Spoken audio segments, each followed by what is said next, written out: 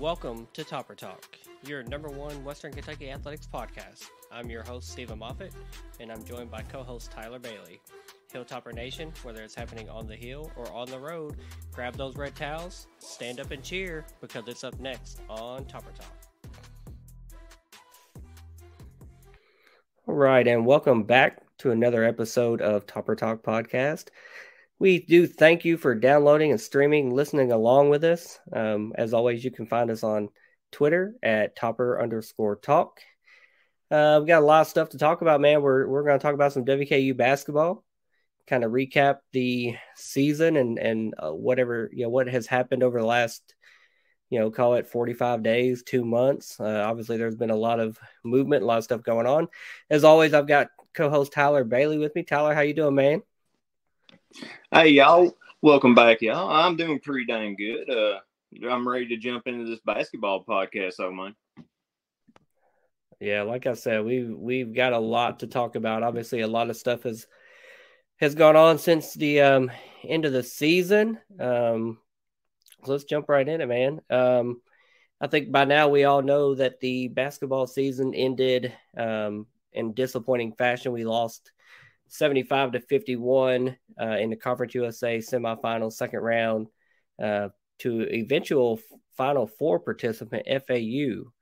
Um, you know, lost a game. You know, was never really in it. Just kind of got blown out by a really good FAU team that went on to prove that you know they were a, a solid, solid team, a matchup problem for a lot of teams, and um, you know, CUSA was really good this year.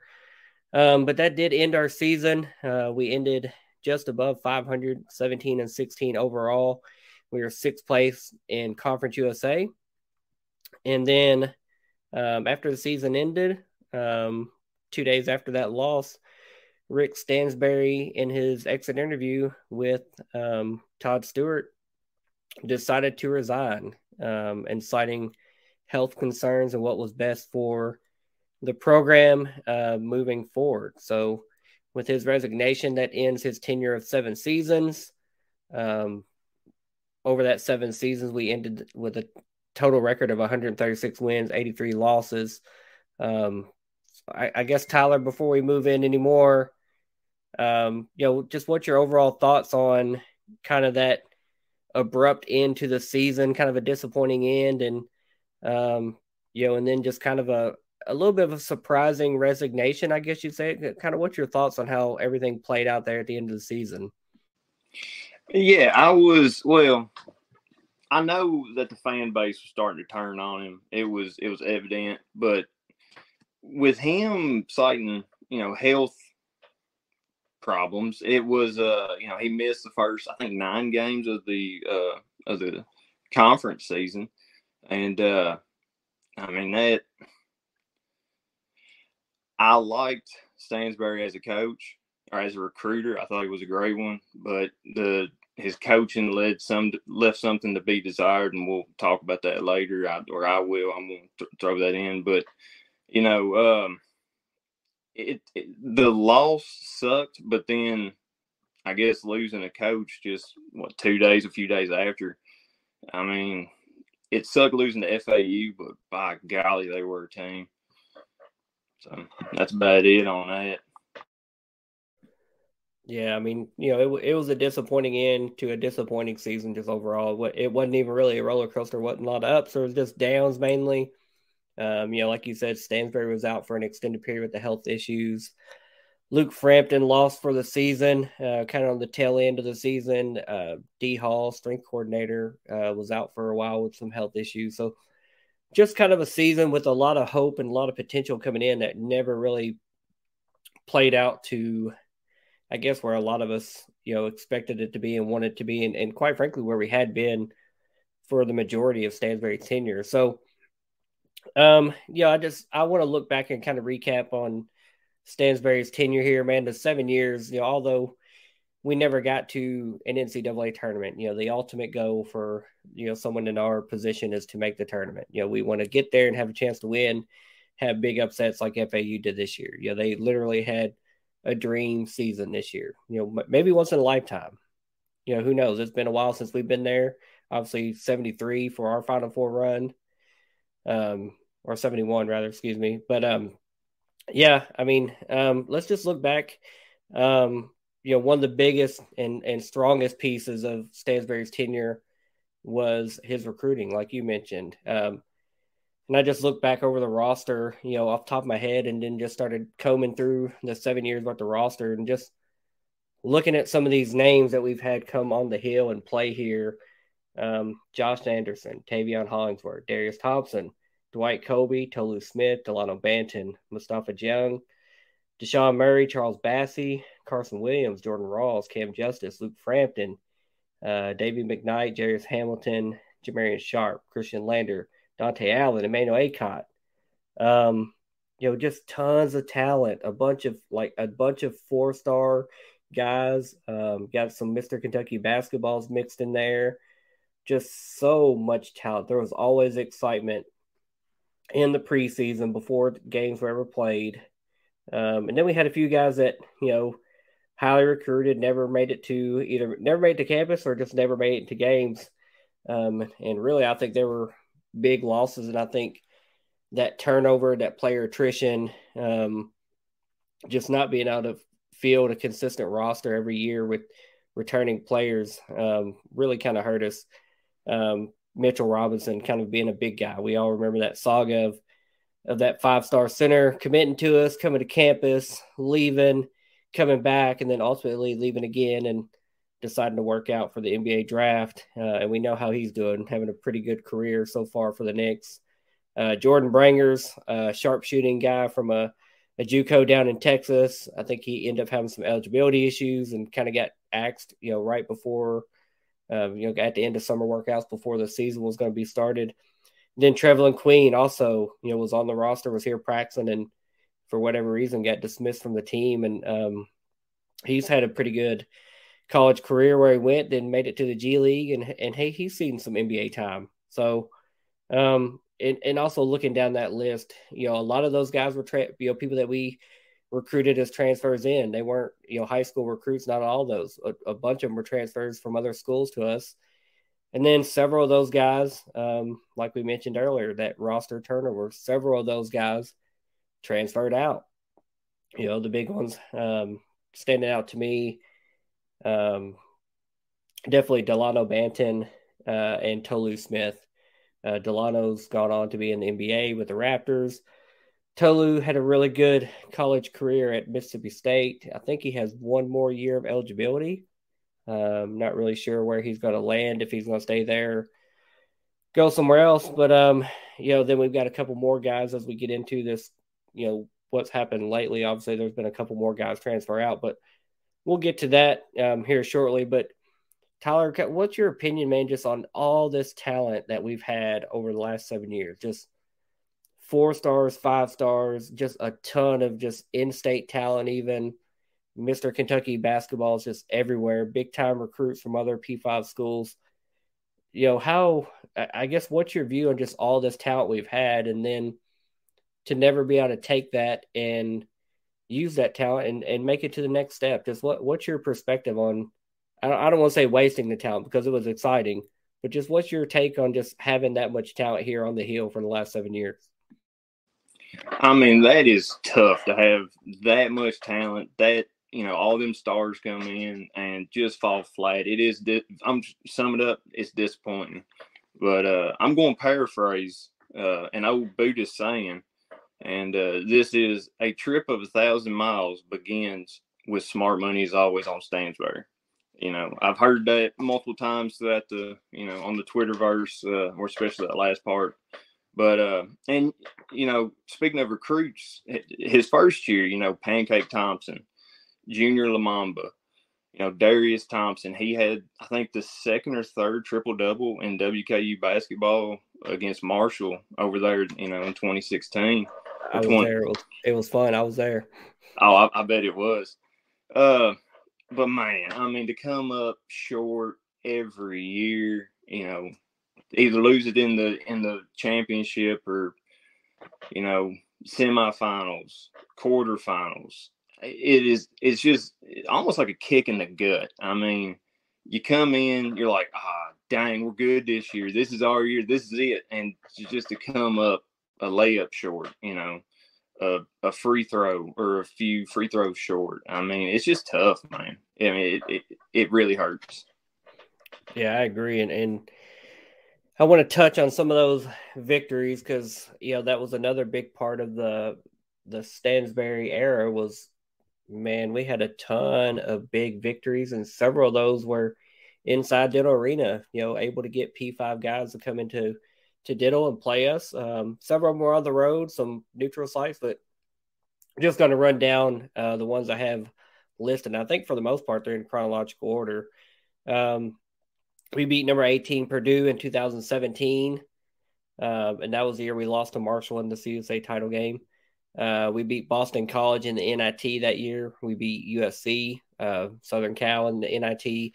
We beat Oklahoma State in the NIT before we lost to Utah. Um, then we beat West Virginia in 2018. Um, I was also there at that one. We beat Arkansas in 2018. I was there for that one. St. Mary's there for that one. Wisconsin, I was there for that one. Um, then we lost to a very seasoned and veteran ODU squad uh, in the CUSA title game that year. Um, 2019, we beat Arkansas again. And that 2020 Conference USA tourney was canceled due to the COVID 19 pandemic. Uh, moving forward into the 2021 season, we beat Memphis, uh, then we beat Alabama. We lost to North Texas in the 2021 CSA title game. You know, a game where we just, I think we got behind a huge margin 16, 17, 18 to zero before we decided to start scoring and, and made a good run at a comeback, but just ultimately fell short again, you know, three times in four years in the title game. Then we beat Ole Miss in 2021 we beat Louisville in 2021. But man, just so many, just looking back at just so many incredible wins and just all the excitement that it, that always brought to the program and eyes on the program and just exciting big plays and electric atmospheres and it was fun. I mean, say what you want to say, we didn't make uh, you know, an NCAA tournament, but that NIT title, you know, semifinal run was special. I mean, that was a, a very favorite team of mine that Justin Johnson, Darius Thompson, Dwight Coleby. Um, you know, in my opinion, that team should have been at large at large NCAA team. I would die on that hill. Said that. I've got receipts for that. But they weren't. They went to the NIT and they kind of proved it, man. You know, won a couple games in Diddle, uh, went to Oklahoma State, Taveion Hollingsworth. Everybody remembers that Taveion getting fouled on the floor with that jersey popping showing that WKU, man, that boy, he was a player. When the lights were on, that boy was a player. Um, kind of all these games, man. Tyler, what stands out to you in all these big games, these big victories, maybe the atmospheres, you know, what, whatever you got to watch or attend, you know, what are some of your recollections of some of these big wins or, or even some of the heartbreaking losses? I know they're kind of tough to, to reflect back on, but, you know, we're kind of shutting the door on one era and we're about to turn the page onto another one, but looking back, you know, what what's your thought and your mindset looking back at all those big big wins and and hard losses?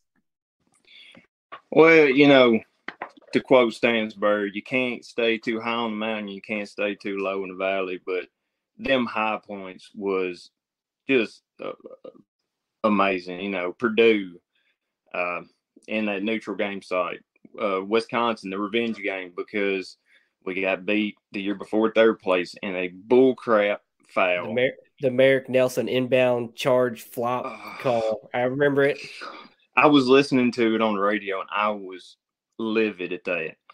Uh, you know, it's always good to beat an in-state rival. You know, beat Louisville. Uh, I was there for Boston College whenever they played Diddle for the NIT. That was an amazing atmosphere. You know, he really brought people back, fans back to Diddle, and you know, had that diddle magic hashtag diddle magic. Um, I remember watching the USC game and uh, uh, the Walton guy on on call. You know, you can't pay no attention to him, but that game was was awesome. Uh, I remember you're right. The OK State game, whenever Hollingsworth was popping that collar, you know, or popping that jersey, that was uh, that was an amazing time. And uh, you know, uh, I think that 2018 really, if that was a team, if we had a team take us to the NCAA tournament, that was it. I mean, that team just blew people out the water. Arkansas, Wisconsin at home, like I said earlier, West Virginia. That team was rolling on everything. Uh, you know, it's always good to beat SEC, you know, uh, Alabama, Arkansas, Ole Miss, stomping Ole Miss. Really, let's let's put it plainly. Uh, but man, uh, the highs were just unbelievable, and uh, I guess the losses. The one from a fan perspective, the loss that stands out to me the most is when Lamont Beard went up for that layup against Marshall mm. in the Conference USA tournament. It mm. hit every freaking part of that rim and then just bounced out. out. I was like, out. Yep. I was like, gosh, dang it. I mean, yep. He he makes that shot nine times out of ten. It popped out the one. yeah, I mean that that's bad luck. Uh, just oh my gosh. Uh, and then I guess I mentioned it earlier, but from I just hate him perspective, that loss to Wisconsin in 17, you know, I, I called that foul uh, bull crap, and I stand by that. Uh, I think his name was Davidson. I to this day I dislike that man with a with a burning passion. Uh, I mean, the I remember we was playing ODU. This is uh playing ODU, and this loss hurt too. We got behind by like twenty something points in the first half, um, I think it was playing there because I was watching on TV at Hilligan's, and that oh, I was I was pissed at that game. Uh, I, I that that was that was horrible, but yeah, the the highs were good, and the lows just major lows. Yeah, I agree one hundred percent. And one thing you touched upon was some of those home atmospheres, and really prior to you know the COVID pandemic hitting in March of 2020, eh, you know one thing Stansbury preached for a long time was you know get buy a ticket, get a ticket, because there's going to be a day when there's not going to be many left at Diddle Arena, and we were getting to that point. You know, after the 18 season, the 19 season, and, and how good a 20 season we had, you know, we were going into that tournament, you know, potentially favorites to to take that title. Um, but we were getting to a point where you know, nearly every game was on a sellout watch. Um, and kind of that excitement and the talent that we had was just incredible. And obviously, you know, the world shut down for a year, year and a half. It felt like two years. You know, conference tournament was canceled. Um, you know, things got weird with COVID procedures and just if games were going to be played or made up or whatever.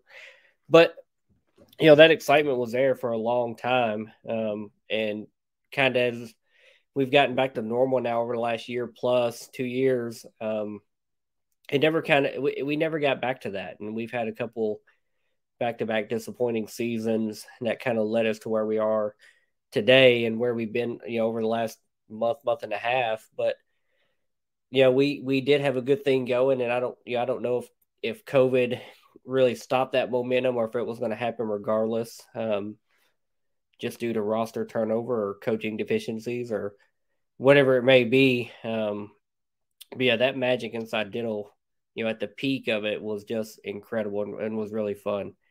Um, but moving forward, you know, on uh, like we said, on 3 9, March 9th, the season ended with that loss to FAU.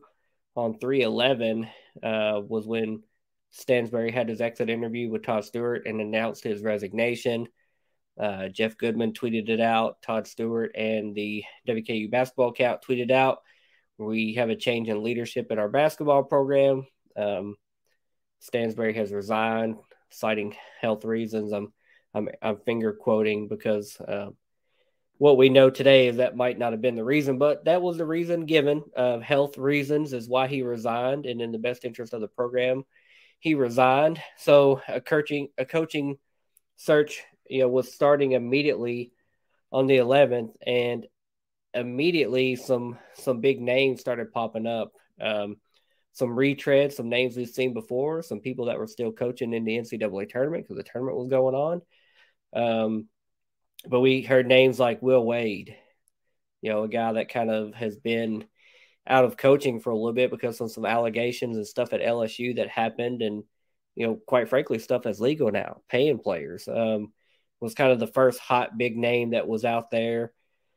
Uh, Darrin Horn, who uh, we all know is coach here before, played here uh, at Northern Kentucky currently, was a name brought up. Tom Crean, Preston Spradlin there at Morehead State, and Steve Lutz at Texas A&M Corpus Christi. You know, those were kind of the the big names floated out there, um, kind of from the get go, from day one.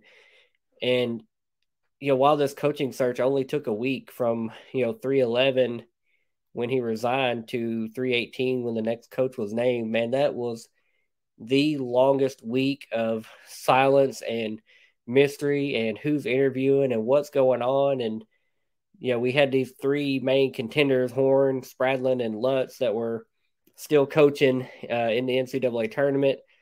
So it just felt like we were waiting for dominoes to fall before we could talk to whomever the main contenders were. Um, and then on March 18th, that kind of all came to an end uh, when Steve Lutz was officially announced as our head coach, the 16th head coach in WKU history from Texas A&M uh, Corpus Christi.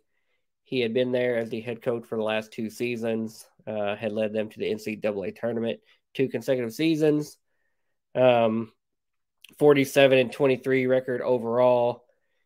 Um, just looking back, Tyler, man, at the coaching search and the resignation and and kind of all those names we heard floating out there and, and possibilities of who's here, who's interviewing, who we interested in. You know, how was that week of just a whirlwind of not knowing and and getting your hopes up? You know, I, I will be on the the record of saying I had my hopes up for a Will Wade type guy. You know, I think that was a hire that I wish we could have made. Um, ultimately, we didn't, and I will be behind Steve Lutz 100%. But man, the allure of that guy and his pedigree of recruiting, you know, I was excited for it. It didn't pan out. Um, but kind of what's your reflection on that week of just unknown and where we ended up, um, you know, with Steve Lutz. Well, I don't think I ever have checked Twitter as much as I did that week. I mean, I was always constantly refreshing it, going back, looking up articles, seeing who you know we, was talking to. I'm I am happy with with Lutz. Uh, he does have a have a heck of a you know a pedigree from where he assistant coached at in the past, but uh, I was I was on the Will Wade train. I did not want Tom Crean at all. I don't like him. Uh, that goes back to him coaching Indiana. I I dislike that boy.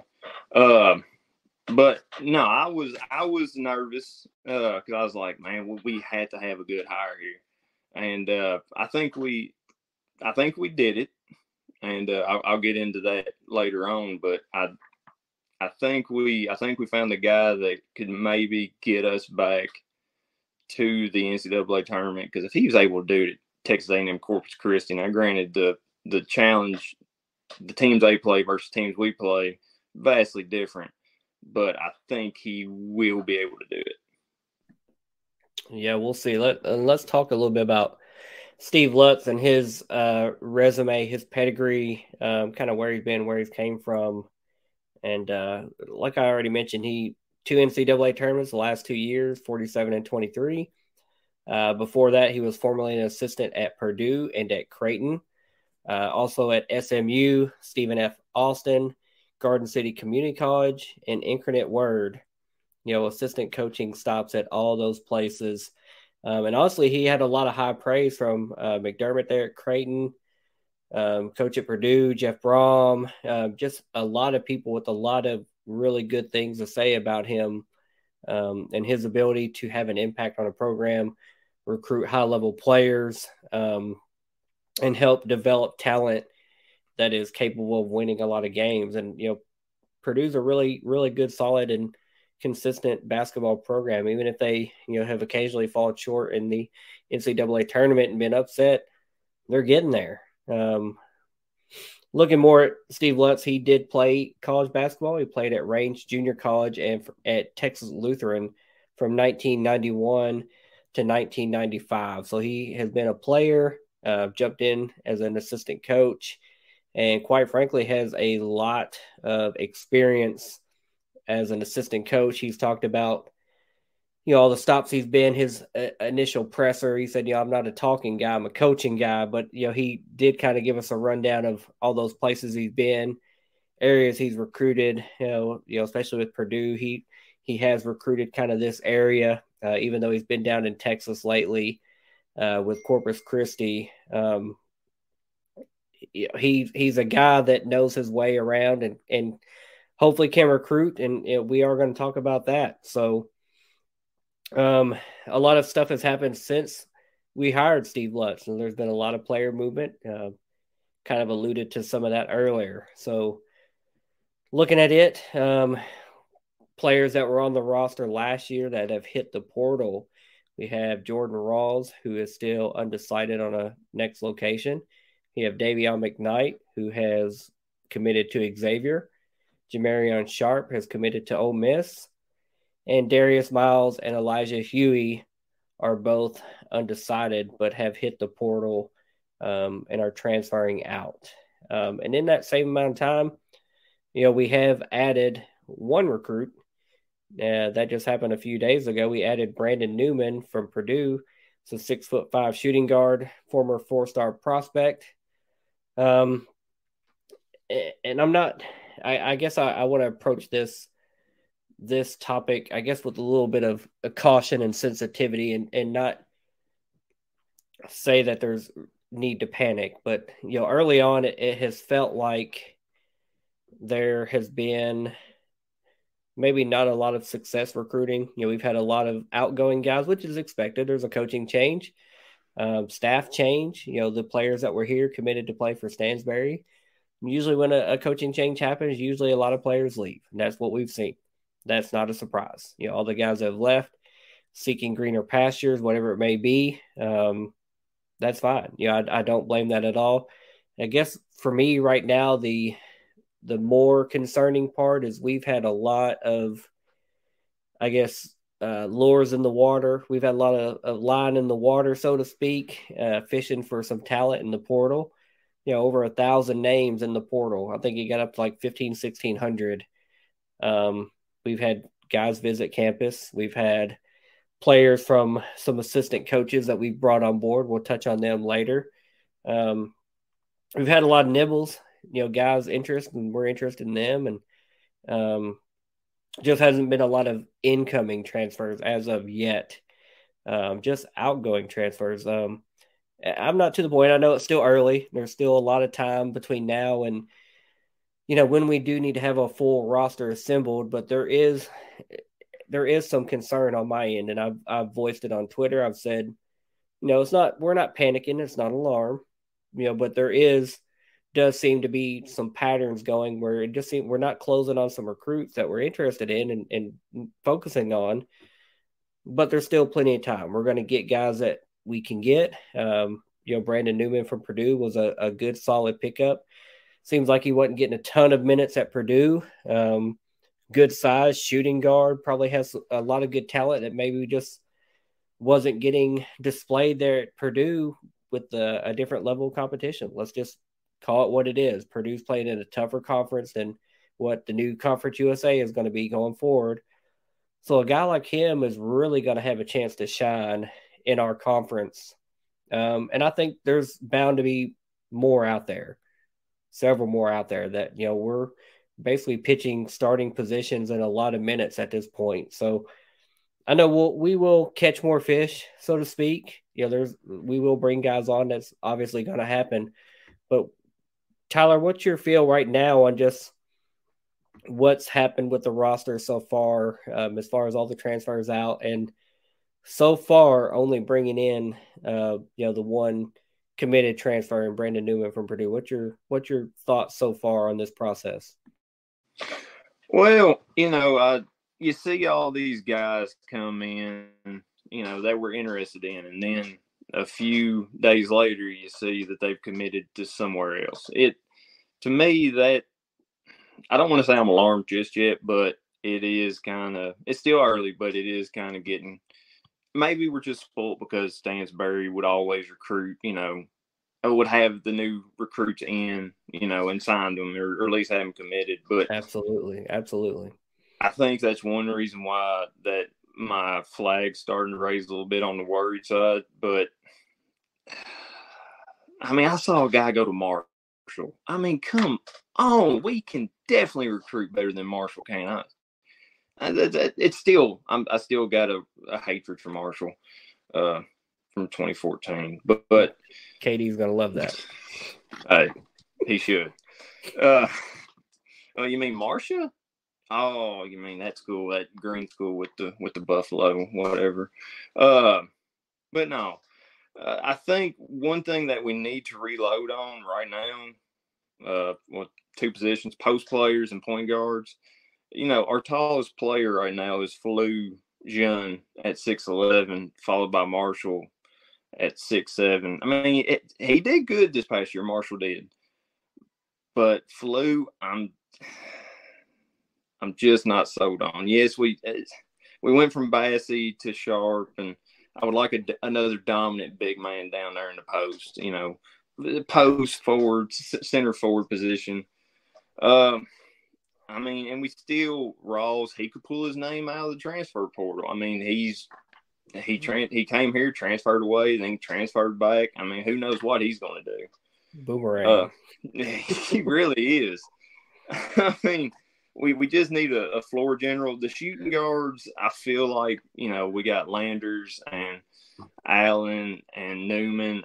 I believe we're we're good on on shooting guards. Yeah, I, I always take some more though. Um, but uh, heck, if all those fellas got Tyler Oden, Oden and he could fucking freaking drop a twenty piece, uh, this season for all I yeah, I mean he he could just go out there and ball out one night. I don't know. Oh, oh, fluff may get fluffy. I you know. Yeah. Uh, yeah, I, I agree. Me, I was going to run down the, the full current roster as it stands. Uh, you know, we've talked about all the guys that have have left, and we've talked about the one signee. Uh, current roster as it stands today on on Monday, uh, May first, close to midnight. But you know, as it stands right now, we've got Dontaie Allen returning, Khristian Lander, Tyrone Marshall, Flu John. Then we have uh, walk-ons Noah Stansbury, Tyler Oden, Jalen Dorsey. Then we've got two signees in Tegan Moore and Brandon Newman. So, like you said, we need to fill in uh, some big guys. Um, you know, another ball handler, point guard would not be a bad idea. We, we definitely have some depth and some opportunity and, and plenty of minutes to – be shopping around out there and, and trying to find some good players. I, I and I don't doubt it's going to happen. You know, we've seen Lutz and kind of the first glance at his resume was he really thrived in the transfer portal. And you know, we were talking about the the high caliber recruits that we had earlier with Stansbury. Our our recruiting profile is going to change one thousand percent. We are not going to recruit um, four and five star players, you know, straight out of high school, like we were doing. You know, there for a while, we got on a run of of having guys that would reclassify and come to Western a year early. We had two or three of those guys. Um, and our if our recruiting profile changes and we're just finding those diamonds in the rough, those mid major guys or P five guys that are just overlooked, like the Brandon Newman, so be it. You know, I, I think at the end of the day, all we're going to care about is winning games. Not just winning games, but winning the conference, winning the conference championship, going to the NCAA tournament, and not as a not as a play-in 16 seed, um, not as a first four, but you know having a good regular season, winning our conference tournament, and getting there as a you know a 8, 9, 10, 11 seed. You know we don't want to be a 14, 15, 16 seed and just – you know you're under the gun immediately playing a one, two, or three seed. So um, I'm okay with our, our recruiting profile changing. I know it's going to happen. I know Lutz has shown experience and ability to find those uh, portal players, and it's still early. It's still plenty of time. I know I, I expressed some concern, but it is far from panic for me. You know, I know that there's still plenty of players out there. I know we're still interested in guys, talking to guys, hosting guys – um, and we're going to land some. We're going to land some players, and the players that we get are going to be up to the standards of Steve Lutz and what he expects, and the, the high intensity, fast tempo on offense, and a really heavy, strong defensive team. You know, and that's what I think we're going to see. And we're going to have a changing of guard of some players. We've already talked about all the defections and paving the way for a lot of newcomers. So I'm fine where we're at. You know, I know there is some concern in the fan base. There's rumblings in the fan base, people that are expressing concern, and I think rightfully so. I'm not going to say, hey, y'all shouldn't be worried because I think there is surely reason and concern there. Um, but I still choose to be optimistic. I still choose to be glass half full that, you know, this coach has not coached a game yet. And I'm not throwing the towel in on him. You know, I think he's going to find players. I think he's going to coach them up. I think we're going to win games. You know, that's the bottom line. Uh, moving forward, we have, um, you know, a couple assistant coaches now that have been named officially. Uh, one of those, Tim McAllister from Georgia Southern, and the other one that just became official today had been rumored for a couple of days, but Hank Plona from Indian Hills JUCO was uh, head coach there for eight years. Um, you know, a couple of experienced guys. Again, you know that JUCO connection could be vital for kind of finding finding that talent that maybe at a high school didn't qualify or overlooked and went JUCO. He, you know, you guarantee that guy's got a lot of connections in the JUCO world. Maybe finding those next great players that transfer in. You know, where Jamarion Sharp came from, the JUCO guy came in. Um, so tell me, I guess, what's your thoughts right now? Um, I guess on where we stand with where the roster is today, knowing that we have holes to fill, and these two assistant coaches that we've now have officially named. You know, kind of what are your thoughts on them, Tyler? I think uh, I think the roster it will build itself up because Western Kentucky has a crap ton of history that you know, and getting guys into the pros or getting guys playing overseas. Um, I mean, I think the history sells itself. Les just needs to kind of just push it along a little bit. But uh, I, I think I think we'll be fine. You know, this this newest uh, hire, Hank Plona. Uh, I was looking over his resume, and he had gotten some of his former players have went on to play in the NCAA tournament the past few years, went to major schools. I think that we we will benefit from him being on staff and you know just being there saying, hey, you know, why don't you come look at Western Kentucky University? You know, it's a great school, great basketball history. Um, definitely, definitely looking up on that uh, overall for the new coaches and new and the new roster. Yeah, I agree. And like we've kind of both have said, you know, there's still plenty of time to add players. You know, there's plenty of and there's still plenty of players out there and good players. Um, even looking further back, you know, that 2017-18 team, um, Darius Thompson and Dwight Coleby were some late, late additions. I'm talking like August, you know, right before school started when those guys were plucked out um, and joined our team as transfers. So um, you know, especially as we get closer to graduation, we're finals week now, graduation coming up here soon. I mean, there's going to be even more players that aren't in the portal now that, you know, once they realize they have fulfilled their graduation requirements, they're going to hit as a, a, grad transfer or, you know, if they get over recruited, a transfer comes in, you know, somebody's going to transfer out and we're going to end up landing a couple more good players, some diamonds in the rough, some guys that are – Steve Lutz caliber and guys that are going to help us win ball games. You know, quite frankly, um, whether they're the the nice shiny four and five star guys, at the end of the day, that's not going to matter. You know, that's not what we were winning ball games with. You know, in the early two early two thousands. You know, in the nineties when we were great. You know, two thousand twelve and thirteen.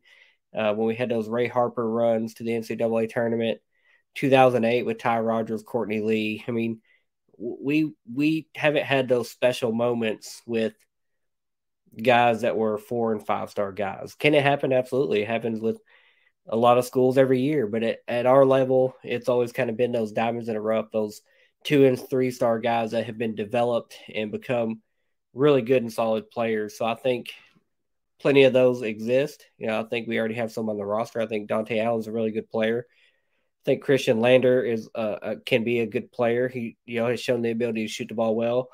Tyrone Marshall, you have to love his his motor. I mean, dude is a just nonstop going. Flujah, uh, we know he's coming off an injury last year, getting back into shape, playing behind Jamarion.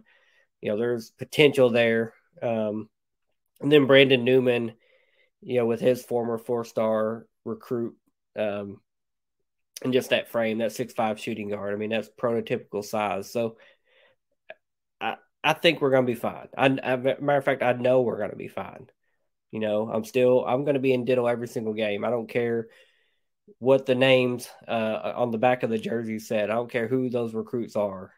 You know, when when they choose and if they choose to come to Western Kentucky and it says WKU right across the front, like my hoodie says right now, I'm cheering those guys on. You know, as long as they're here, as long as Steve Lutz is here, I'm I'm cheering them on, and I know we're gonna have really good days ahead of us. Um, obviously, there's still a lot that's going to happen between now and the roster being finalized and all those scholarship positions being fulfilled and spoken for and and when that happens and before you know the basketball season begins and you know October November you know we'll surely have um, a basketball update before the season begins.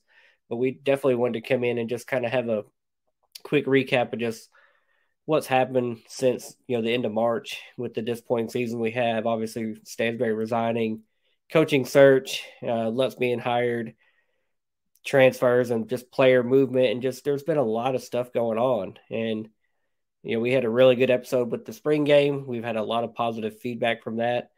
Um, and we definitely just wanted to catch everybody up on basketball. Um, and i think it's going to be a, a really good season. I know it's going to be a different season. It definitely feels different already basketball wise um, you know usually we're coming into this part of the year with several high level recruits, and we're just excited for man. Look at all these big names, and then we got to find out who's going to be eligible and who is actually going to be here. I think it's going to be a little bit different this year. We're going to get some hard nosed guys that are going to be players and are going to help us win differently than what we've done, you know, over the last seven years. So that's kind of my final words, my thought, final thoughts on basketball. And like I said, we will circle back and follow up with another basketball episode when it's relevant um, and when there's just more to update on with roster moves as that is still remaining a fluid situation and is subject to change even as we record today. So, Tyler, with that said, man, I'm going to give you the mic, let you give us some final words, your thoughts on just the basketball season as it was, as it ended, unfolded, and where we are today. Give us your final words just on everything, um, and then take us the heck out of here, man. All right, well, um, you know, I think from whenever I watched Coach Lutz's uh, press conference, I could tell that he was very hard nosed and he demands uh, accountability and he wants his players to play hard and uh, that that's it's kind of a a, a refreshing to see that because this past season uh, seemed like you know maybe that kind of went by the wayside a little bit. You know, speak uh, that uh, incident allegedly that happened down there in uh, during the Florida games where a player was looking on social media or a date nap or something. Um, I remember that and seeing that I was like, oh gosh. But uh, I think I think Western Kentucky's in you know it's in good hands with with Lutz, and I I'm excited to see what he's going to bring. I'm excited for his you know fast pace style of offense. Uh, I think that's going to be amazing. Uh, but no, I I I'm excited for this roster to see what who comes in, what you know what shapes up, and I just really want this team to gel. Uh, I feel like this past season, maybe there was some conflict in personalities, or maybe a player or two players. They just never seemed to gel. Someone always, I felt like someone thought that they should have been a bigger star. That's just me personally, uh, from the outside looking in.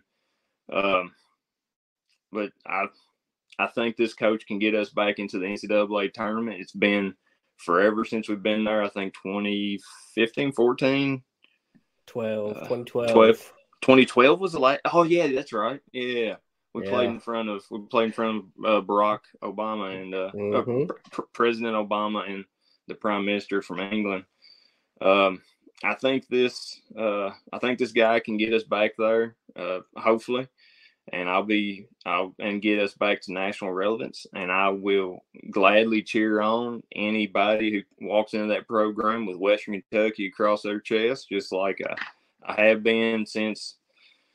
Oh gosh, forever ago. I feel like uh, I've I've I've stressed more over basketball games whenever I've listened to them or been there. I feel like I've aged about twenty years, but now I'm I'm ready to get. I, it's a long wait for basketball season, but but I, I am ready for it. Ready to see what finished products out there. Uh, so I guess, as I always say, Steven, who has better than us? Hey, Tyler, nobody. Go Tops. Go Tops, guys. Later.